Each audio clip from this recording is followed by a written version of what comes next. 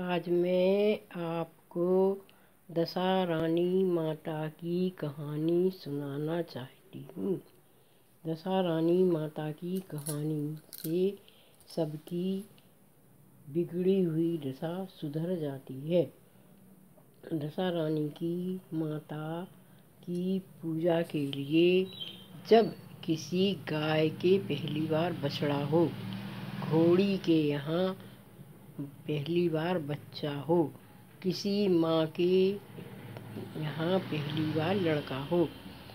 यानी कि पहली बार किसी के यहाँ लड़का पैदा हो।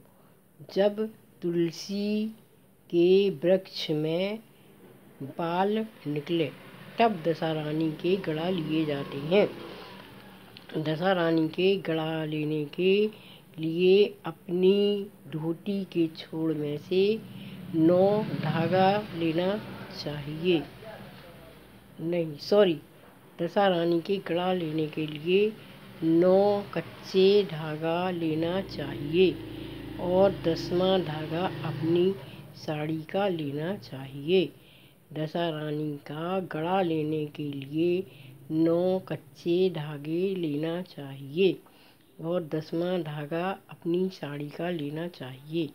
और गड़ा को बनाकर नौ दिन तक रोज शाम को दशा रानी की एक कहानी कहना चाहिए।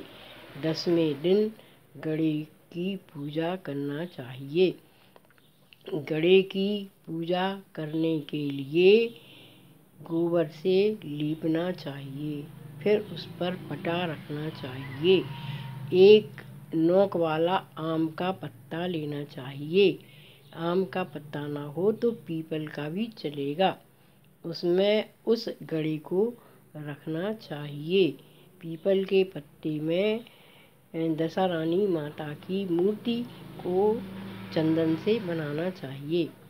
अक्षत, पुष्प, धूप, दीप, आरती, आदि करके सब तरह से माँ की विधिवत पूजा करनी चाहिए। और पूजा करने के बाद कहना चाहिए कि दशा ढाऊँ, दशा मनाऊँ, दशा का दो सब कुछ पाऊँ। दस चावल लेकर इस दोहे को दस बार कहना चाहिए। दशा ढाऊँ, दशा मनाऊँ, दशा का दो सब कुछ पाऊँ।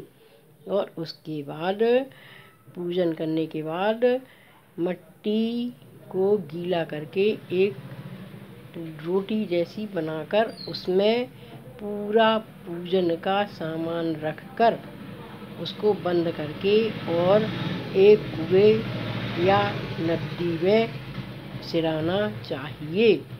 उसके बाद फिर दसवें दिन दस पूड़ी और दस छोटी छोटी गोली बनाकर खाना चाहिए। खाना उतना ही बनाना चाहिए जो छूटे नहीं।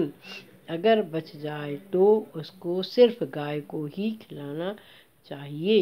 इस तरह से दशा रानी माता की पूजा करने से हर व्यक्ति की दशा सुधर जाती है। जो कष्ट जीवन में होते हैं, वो सारे कष्ट खत्म हो जाते हैं। इसलिए दशा रानी माता की पूजा बड़े विधि विधान से करनी चाहिए।